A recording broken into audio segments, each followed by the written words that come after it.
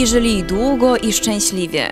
Takie historie zdarzają się nie tylko w bajkach. No i my mamy nadzieję i wierzymy, że będziemy świadkami przepięknej historii, przepięknej miłości jednej z opolskich par. Rozpoczynamy etap finałowy konkursu Wygraj Wesele z Opolanką, w którym to pięć wybranych par rywalizuje i walczy o główną, wyjątkową nagrodę. Jaką to jest? Oczywiście przyjęcie weselne w restauracji Opolanka w Opolu. Poznajmy zatem te pięć wybranych przez naszą komisję konkursową w eliminacjach par.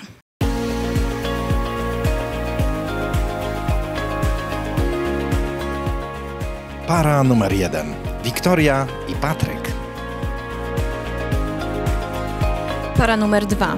Martyna i Damian. Para numer trzy. Julia i Maciek. Para numer cztery. Klaudia i Marek. Para numer pięć. Alicja i Mariusz.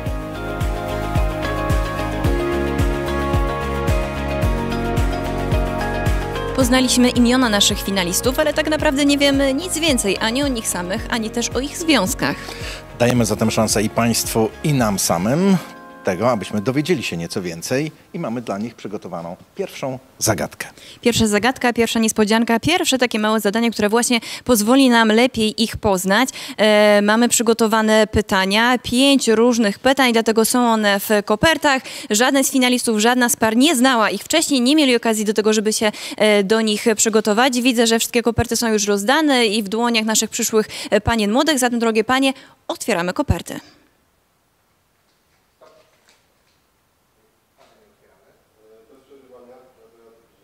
No i proszę bardzo, dowiedzmy się, to może Alicja i Mariusz jako pierwsi. Cóż to Alicja mamy? Oświadczyny, czy wywołały zaskoczenie, gdzie się odbyły i jak przebiegały? No to ciekawe, kto z was bardziej je zapamiętał. Kiedy to było, nie pamiętam. Dobra, a Alicja chyba ma nieco inną koncepcję.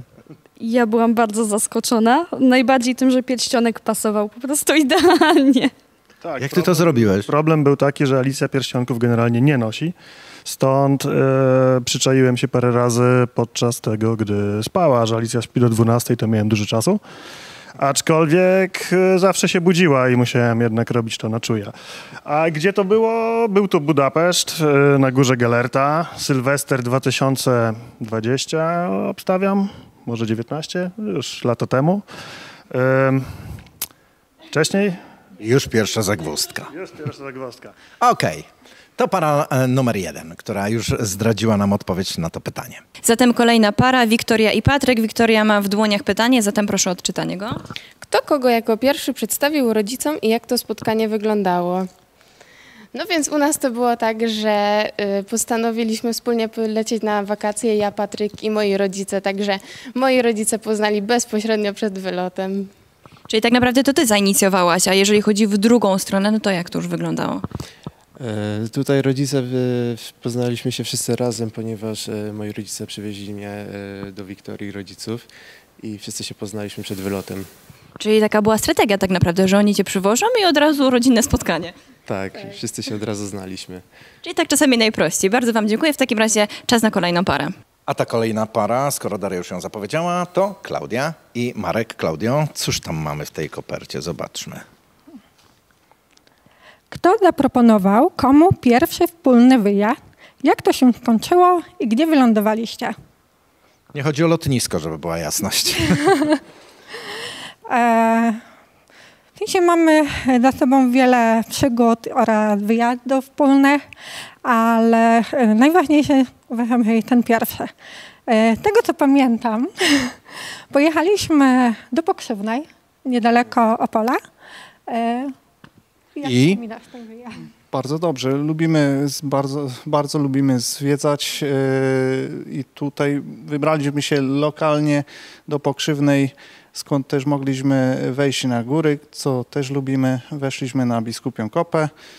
No i tam yy, Był to długi spacer, no rozumiem. Oczywiście. y, Jedną z naszych wspólnych pasji jest e, zwiedzanie oraz spinaczka górska. E, pierwszy pocałunek na Biskupie Kopie. No to nic chyba więcej dodawać nie musimy. Czas na kolejną parę. No to przechodzimy zatem do Martyny i Damiana. Martyna, proszę cię o odczytanie pytania. Czy pamiętacie, jak umawialiście się na pierwszą randkę? Chyba No. podejść było więcej niż jedno. Chodziliśmy wspól- na wspólne studia, tylko Damian już był absolwentem, ja byłam jeszcze studentką i właśnie na tym wyjeździe się poznaliśmy i tam właśnie niestety rozeszliśmy się bez y, szczególnego umówienia się na randkę i zgubiliśmy swoje kontakty, a potem w Krakowie y, znalazłam gdzieś w lokalu, ujrzałam Damiana, jeszcze wtedy miał właśnie kucyk i rozpoznałam go już pierwszego dnia, pierwszego wieczoru i stwierdziliśmy, że musimy sobie zagadać i umówić się na kawę. Podczas tego spotkania, spotkania kontynuowaliśmy poprzednią rozmowę i się potoczyło dobrze. Czyli można powiedzieć, że to była wasza wspólna decyzja. Tak, Tak. na pewno. Ale też e, wydaje mi się, że no, możemy tutaj szukać jakiegoś elementu przeznaczenia, skoro mimo tej przerwy znowu wpadliście na siebie. Zdecydowanie. I tak będzie do końca. Oczywiście. No bardzo, w takim razie bardzo wam dziękuję i gratuluję tego i przechodzimy do kolejnej pary. No to zaglądamy na koniec do Julki i Maćka. Cóż tam u ciebie w tej przepastnej kopercie? Y, Czy pamiętacie smak pierwszego pocałunku? Y, Oczywiście. No dobra. Maciek? Ja też pamiętam. Jak przez mgłę, ale pamiętam. E, było to na pierwszej randce e, w, zamku e, Moszna. Tam pojechaliśmy, ponieważ Julia tam nigdy nie była wcześniej. No i jakoś potoczyło się od kroku do kroku i udało się ten pierwszy pocałunek wykraść. No właśnie, od całusa do całusa. A jesteście w stanie zobrazować nam ten smak, poczuć? Czy kojarzyło on się będzie, nie wiem, z owocem, z zapachem, ze smakiem? Z wariactwem. Wow, tego to nawet ja się nie spodziewałem. A Maciek? Ja też nie. No ale to jest cała Julia. No to jak e, słyszycie, i Julia, i Maciek na pewno smak pocałunku zapamiętali na dobre. Podczas ceremonii ślubu jest taki jeden najważniejszy, najbardziej wyjątkowy moment, kiedy para młoda stoi naprzeciwko siebie, patrzy sobie głęboko w oczy i wypowiada magiczne słowa. To oczywiście moment e, małżeńskiej przysięgi, dlatego nie przez przypadek i my znajdujemy się w tym miejscu, które służy nam za symboliczny ślubny kobierzec, a to będzie się wiązało z kolejnym zadaniem dla naszych par. Tak, to będzie najważniejsze zadanie tego odcinka i to jest tak naprawdę główny jego motyw, a chodzi oczywiście o to, e, żebyście przygotowali wspólną, autorską przysięgę małżeńską, którą no, dziś, a być może i w przyszłości wypowiecie do siebie właśnie stojąc na tym ślubnym kobiercu.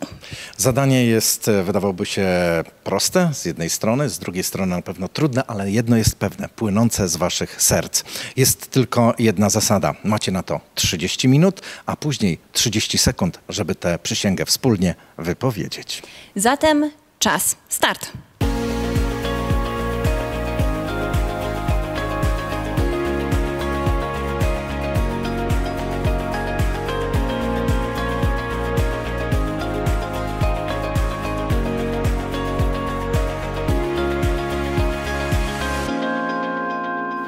No to czasu zostało im niewiele. Tak patrzę, że chyba niektórzy wybrali bardzo różne techniki przygotowania tej e, przysięgi. Nie wiem, co tam u was. Widzę, że u ciebie zdecydowanie więcej. Jak na razie tak, ale już ale walczymy z, z drugą częścią. Y, Mieliśmy różne techniki, musieliśmy je połączyć. Okej, a teraz wy opowiedzcie mi, bo widzę, że tutaj no trochę tej kartki zajęliście, ale jest jakiś podział na role, jakieś numerki. Bardziej stawiacie na wspomnienia, czy bardziej na to, żeby było humorystycznie? Co u was się pojawia? Y, Dla mnie wspomnienia są dość dobrze i cenione. Poszedłem w prawdę, bo tak chyba najłatwiej. tak. Trochę humoru. Zobaczymy, co z tego wyjdzie. A Przeliczyliście sobie te 30 sekund? Tak, będę mówił szybko. Szybko, ale szczerze. Tak, dokładnie. Okej, to ja spoglądam na zegarek, macie jeszcze dokładnie 10 minut. Powodzenia. 3, 2, 1, stop. Czas minął 30 minut za nami, zatem kończymy pisanie. Nie wiem jak ty, Donat, ale ja już nie mogę się doczekać, No żeby ja się usłyszeć domyślam, te... jakie oni muszą mieć w sobie Tak, emocje. nie mogę się już doczekać, żeby usłyszeć te słowa przysięgi. Jestem też ciekawa, no właśnie, co sobie chcą przysięgać nasi finaliści. No to Państwo teraz się właśnie tego dowiedzą. Ja, Wiktoria, biorę Ciebie, Patryku, za męża i ślubuję Ci miłość zawsze i na zawsze. Będę kupować Ci czekolady, które później będziesz zjadał, a później będę Cię wspierać na redukcji. Będę miła i nie będę marudziła. Ja, Patryk, biorę Cię, Wiktoria, za żonę i ślubuję Ci wnoszenie zakupów, które głównie ja zjadam, że będę wysłuchiwał Twoich ekscytujących historii, a także miłość, wierność i że Cię nie opuszczasz do śmierci.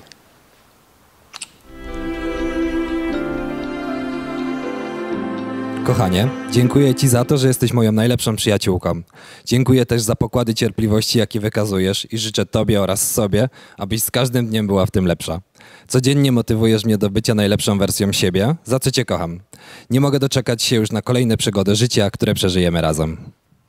Kochany Damianie, często nie potrafię podjąć decyzji, jednak jest jedna, przy której się nie wahałam. Wy- Wykrzykując ci kilkadziesiąt razy tak, tak, tak, tak, tak, tak, tak, w momencie, gdy tylko prosiłeś mnie o rękę. To dzięki tobie czuję się najszczęśliwszą osobą na ziemi. Wiedz, że zawsze możesz na mnie liczyć. Chcę, żeby twoje cele, smutki i marzenia były również moimi. Przysięgam kochać cię do końca naszych dni. Bądźmy szczęśliwi, bo tylko tak należy żyć.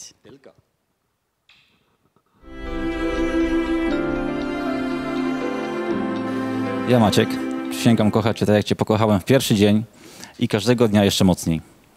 Ja, Julia, przysięgam do końca życia szukać Twojej wiecznie zaginionej skarpetki, myć Twój ukochany rower i uszczęśliwiać Cię każdej minuty, każdego dnia. A ja przysięgam wiecznie na Ciebie czekać w aucie, gdy zawsze jesteś spóźniona wszędzie oraz do końca życia zamykać za Tobą wszystkie szuflady, które zostajesz otwarte w domu. Na zawsze Cię kocham. No zawsze Cię kocham.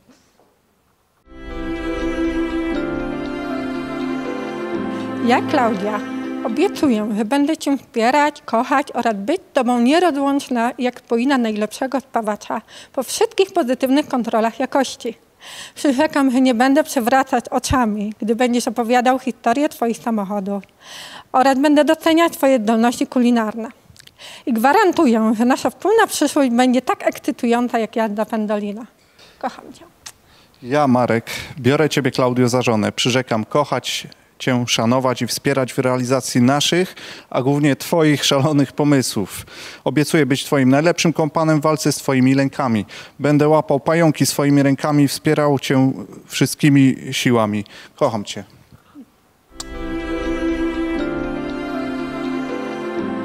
Ja, Mariusz, mimo całej nienawiści do bałaganiarstwa, ślubuję Ci, że przymknę na to oko przynajmniej raz w tygodniu. Mariuszu, ja Alicja, mimo całej sympatii do twojej mamusi, ślubuję, że pojawię się na obiadku przynajmniej raz w miesiącu. Mimo całej wyrozumiałości do Twojej pracy, ślubuję, że odmówię noszenia za Tobą aparatu przynajmniej raz w roku. Mimo całej wyrozumiałości do akceptacji twojej pasji, ślubuję, że zabronię ci wyjazdu na turniej z kolegami przynajmniej raz na kwartał. I ślubuję Ci, że wtedy polecimy w kosmos z sokołem Millennium. I love you. I know.